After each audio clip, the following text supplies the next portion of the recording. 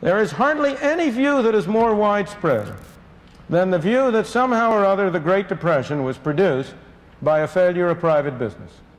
The Great Depression. The Great Depression of 1929 devastated the U.S. economy, and one third of all banks failed. It was so severe that one in every four adults lost their job, and homelessness increased. Housing prices plummeted, international trade collapsed, and inflation soared. It was just one year after the Great Depression, and America hadn't fully recovered from the blow yet. Howard Buffett had brought his son Warren to New York City. The New York Stock Exchange, often nicknamed the Big Board, is the world's largest stock exchange by market capitalization. Men in jackets were all roaming randomly, shouting and scribbling on the trading floor. Four or five years, the stock market has been booming along and uh, presumably forecasting better business, which has really not materialized. Young Warren was fascinated to see all this. He was finding beauty amidst the chaos that was happening around him. He was deeply interested in numbers and reading books at a very young age. He started loving the game of business and investing before he could realize it.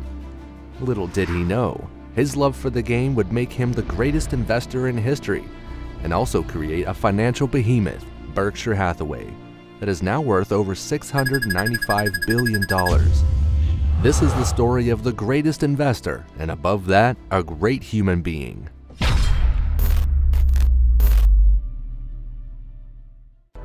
Childhood Buffett was born in Omaha, Nebraska on the 30th of August, 1930. His dad Howard was a stockbroker. His mom Leila was a housewife.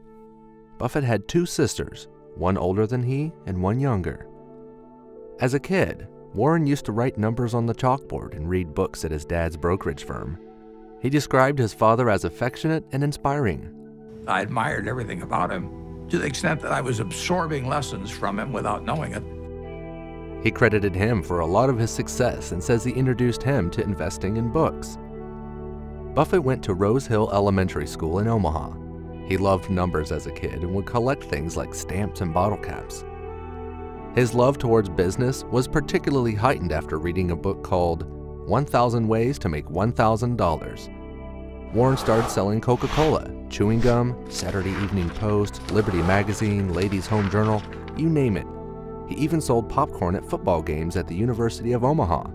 He loved the concept of compound interest, and Albert Einstein has said that compound interest was the eighth wonder of the world. It's a pretty simple concept, but over time, it accomplishes extraordinary things. Warren's early investments. At the age of 11, he bought his first stock.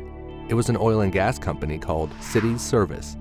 He bought three shares at $38.25. A short time after Buffett bought these shares, the price dropped to $27 per share, but an anxious and scared Buffett held on tight and waited until the price increased to $40 at which point he waited until the price in profit.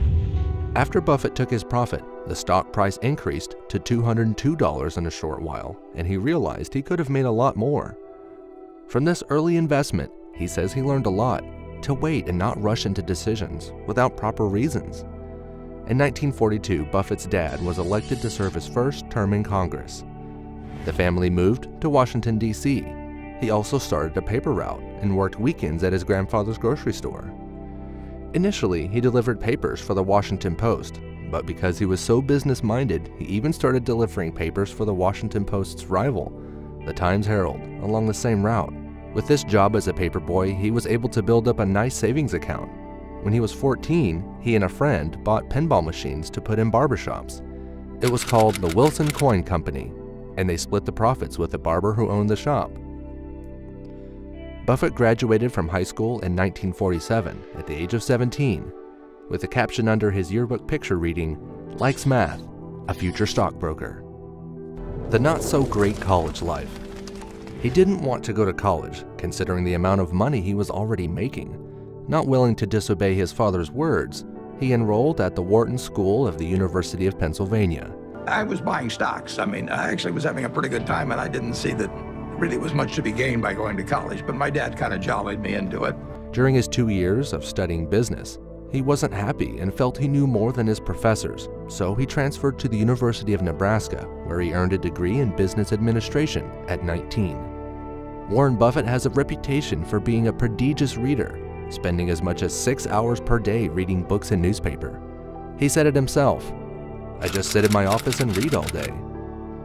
Meeting with Ben Graham. After graduation, Buffett wanted to go to Harvard Business School. Sadly, he got rejected. Sometimes in our life, rejection becomes a great blessing. When I got out of the University of Nebraska, I applied to Harvard Business School. They told me I was to get interviewed in a place near Chicago. I got there, and uh, he interviewed me for about 10 minutes. And he said, forget it. You're not going to Harvard. And so now I'm thinking, what do I tell my dad? You know, this is terrible. And it turned out to be the best thing ever happened to me. He instead went to Columbia Business School. Buffett picked Columbia because of Benjamin Graham's The Intelligent Investor. Buffett said it's the best book about investing ever. He knew he had to go to Columbia when he heard that Graham taught there. Buffett says Graham is one of the most influential people in his life after his father. It is there that Warren had learned the two most important rules of investing taught by Ben Graham.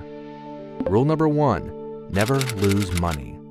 Rule number two, never forget rule number one. Ben Graham basically coined the term value investing. The following six principles are derived from Ben's book so that you can find it useful. Here are a few ways that you can be as prepared as Buffett when you make investment decisions. Make sure you're getting the investment at a good price. This makes the investment safer in the long run. Ask yourself if the investment is long term the best investments give back over time instead of offering immediate gratification. Research if the business is well managed. Buffett scrutinizes decisions that management are making to ensure that if the company falls on hard times, the best decisions will be made. See if the business avoids debt. Buffett doesn't invest in companies that have too many debts to pay off. Also check out the company's returns. Buffett seeks out companies with a return on investment higher than average see if the business has a competitive edge in its industry. Buffett was introverted, shy, and nervous, so he decided to take a Dale Carnegie public speaking class. He says this was one of the most important investments and that he wouldn't be where he is today if he hadn't taken that class. My whole life would have been different. So in my office, you will not see the degree I got from the University of Nebraska. You'll not see the master's degree I got from Columbia University, but you'll see the little award certificate I got from the Dale Carnegie course. After graduating, Buffett went back to Omaha to continue working in his father's brokerage firm, as Ben Graham hadn't wanted to hire him because of some personal reasons. In 1954, Ben Graham changed his mind and called Buffett to work under him in New York. Without thinking twice, Warren agreed. He spent most of his time at the partnership looking for opportunities and analyzing reports. He became more interested in how companies worked and thought about their management when making investment decisions. But Graham was more leaned towards balance sheets. In 1956, Warren decided to take things on his own. Eventually, Buffett Associates Limited was born. A total of seven family members and friends invested $105,000, with Buffett only investing $100. By the end of the year, he was managing around $300,000. In 1959, Buffett talked to one of the partners, who was a doctor, and asked if he could get another 10 doctors to invest $10,000 each. He got 11 doctors to invest. In 1962, the partnership was worth $7.2 million, and Buffett decided to merge all the partnerships into one, forming Buffett Partnership Limited. The minimum investing amount was 100 grand. It was also the same year that Warren met his lifelong friend and business partner, Charlie Munger. When I first met Warren back in 1959, I recognized immediately that he was a very intelligent. Buffett Partnership Limited continued to be very successful. In 1966, assets were rising over $44 million, so Buffett decided to stop any new investments. Berkshire Hathaway Buffett bought the first shares of Berkshire in 1962, which was a textile business back then. The business wasn't doing well, and it was closing its mills and selling shares. At one point, the management asked Buffett at what price he would buy its shares. Warren replied, $11.50. The tender offer came out a few months later and the price was $11.375 per share.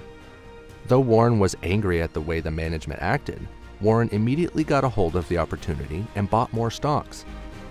At one point, he was the majority shareholder and he immediately felt he would need to change the management, and he did exactly that. Warren began investing in insurance companies, and in 1967, he bought the National Indemnity Company and the National Fire Marine Insurance Company. Eventually in 1970, Buffett became the chairman of Berkshire Hathaway and wrote his first annual letter to the shareholders. These letters would later become very famous and something studied by many investors all over the world. Charlie Munger Warren made a ton of money by applying Ben Graham's principle of picking stocks which was to buy stocks at cheap prices. At this point in time, Warren didn't really care if it's a lousy company or had lousy management. Warren was confident that he was going to make money anyway because of the cheap prices at which he picked his stocks. Charlie Munger changed his perspective. Munger advised him to pick wonderful companies at fair prices rather than his previous thought process of picking fair companies at wonderful prices. This move was so pivotal because it enabled Berkshire to scale at a level which otherwise would have been impossible to achieve. This made Warren think of stocks as businesses rather than just stocks. Charlie and Munger became mental partners from the day they met. This resulted in some of Warren's most iconic and most profitable stocks, which includes Apple, Coca-Cola, Chevron, Bank of America, Geico, etc. Since Warren becoming CEO of Berkshire, he has generated over $790 billion in net value to himself and his investors, and his Class A shares of Berkshire rose to almost 4.3 million percent since its start. Moat Investing In 1971, Buffett bought a company called See's Candy for $25 million. This investment was crucial for Berkshire Hathaway. It was a trademark move for the company, investing in businesses that they believed to have a moat. It means the company's ability to maintain competitive advantage over the rest of the industry and maintain its market share. As Buffett always says, the single most important decision in evaluating a business is pricing power. If you've got the power to raise prices without losing business to a competitor, you've got a very good business. The moat concept is especially true in insurance businesses. Buffett's success is largely due to his acquisition and involvement in the insurance business at Berkshire Hathaway. Other insurance claims aren't paid as soon as the insurance companies collect premiums. The cash stays with the company and is called float. With its insurance business, Berkshire Hathaway has a float that was $39 million in 1970 and is now over $100 billion. This is used by Berkshire to invest essentially giving it a huge interest free loan. As Buffett says, we enjoy the use of free money and, better yet, get paid for holding it. In 1983, Buffett set his sights on Nebraska Furniture Mart, so he walked in to speak to the owner and offered to buy it. A deal was struck for $60 million, and Buffett shook hands. Within days, a contract and check were sent. His strategy or philosophy behind these businesses, when asked, Buffett says, what we're trying to find is a business that for one reason or another, because it's the low-cost provider in some area, because it has a natural franchise due to its service capabilities, because of its position in the consumer's mind, because of a technological advantage or any kind of reason at all, has this moat around it. In 1988, Berkshire began to buy shares in Coca-Cola, with around 400 million Coca-Cola shares to date Berkshire's yearly dividends rose from $88 million in 1995 to $672 million last year. Time is a friend of the good businesses and the enemy of the mediocre. Warren Buffett. Buffett didn't invest much in the dot-com bubble and shied away from most tech stocks. He knew the hype would eventually become a bubble sooner or later, and indeed he was right.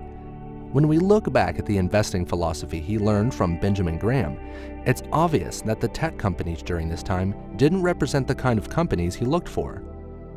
In this time period, many people thought Buffett had lost his touch, with Barron's even writing, What's wrong with Warren? Although Buffett has never had a big interest in technology companies, he does hold one investment which falls perfectly into his approach of finding businesses with a moat. In 2013, he bought a 13% stake in VeriSign, which holds the exclusive rights to the .com domain. During the financial crisis, which is the period from 07 to 08, Buffett bought large stakes in companies like Goldman Sachs and General Electric, which made him billions of dollars in returns a few years later. His political views and philanthropy. Buffett, who grew up as a Republican, as his father was a Congress Republican, his wife Susan saw the pain black Americans were going through and was much involved in the civil rights movement at that time. This made Warren change his political view and become a Democrat. And he started donating to charities under one organization, hence, the Buffett Foundation was formed. The Buffett Foundation is a charitable organization formed in 1964 in Omaha, Nebraska, as a vehicle to manage his charitable giving. It was renamed the Susan Thompson Buffett Foundation in honor of his wife, Susan Buffett, who died in 2004. His philanthropic pledge. In 2006, he made a commitment to gradually give all of his Berkshire Hathaway stock to philanthropic foundations. Buffett said, I couldn't be happier with that decision. More than 99% of my wealth will go to philanthropy during my lifetime or at death. Some material things will make my life more enjoyable Many, however, would not. I like having an expensive private plane, but owning a half dozen homes would be a burden. Too often, a vast collection of possessions ends up possessing its owner. The asset I value most, aside from health, is interesting, diverse, and long-standing friends. My wealth has come from a combination of living in America, some lucky genes, and compound interest. Both my children and I won what I call the ovarian lottery. For starters, the odds against my 1930 birth taking place in the US were at least 30 to 1. Me being male and white also removed huge obstacles that a majority of Americans then faced. Since then, Buffett has donated nearly $36 billion to the Bill and Melinda Gates Foundation, along with other numerous charitable causes. Bill Gates also tweeted that Warren's generosity has moved him to tears whenever he thinks about that. Rather than letting his life be dictated by his huge wealth, he lived a humble lifestyle and appreciated the close group of people around him. In February 2011, Buffett attended a ceremony at the White House where he, along with 14 others, received a Presidential Medal of Freedom, which is America's highest civilian honor. It was awarded by President Obama. As Buffett always says, it takes 20 years to build a reputation and 5 minutes to ruin it. If you think about that, you'll do things differently. After all is said and done, he'll go down in the history books as one of the greatest investors and businessmen of all time, a humble and generous man who enjoyed and understood business, or simply the game.